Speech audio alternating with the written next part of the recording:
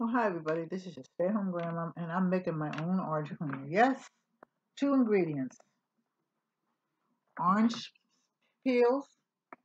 Put it in the jar. Put it in the refrigerator for a couple of weeks. These are the orange peels, and the last ingredient is vinegar. Now, real easy to do, and the oranges smell delightful. And if you've ever seen orange cleaner before, it's very expensive. Well, because the oils from the orange peels go into the vinegar. So I'm going to use the vinegar. That's all you could do. Is have the orange peels in a jar in the refrigerator waiting for you to pour.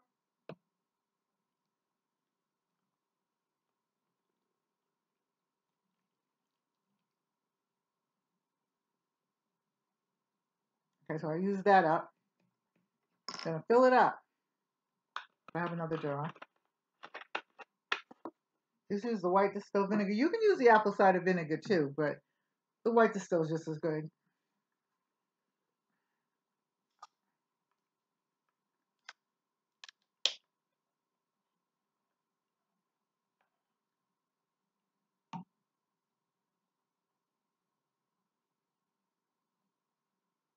Fill it all the way to the top.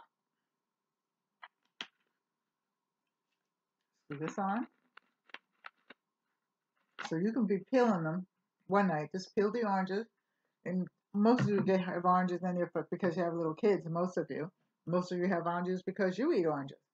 Just peel them, put them in a jar, put them in the refrigerator so you have some time. Get yourself some white distilled vinegar. Screw the lid on tight. Shake it up a couple of times. And then store it. I'm going to store it underneath my sink for two to two to four weeks. And then you empty all the oranges off, take all the peelings off, empty it in a strainer, and you've got your cleaner. And it's going to change the color so that you'll know that you've got your cleaner. That's all there is. Love you. Take care. God bless. Stay safe. Bye-bye. See you in the next video.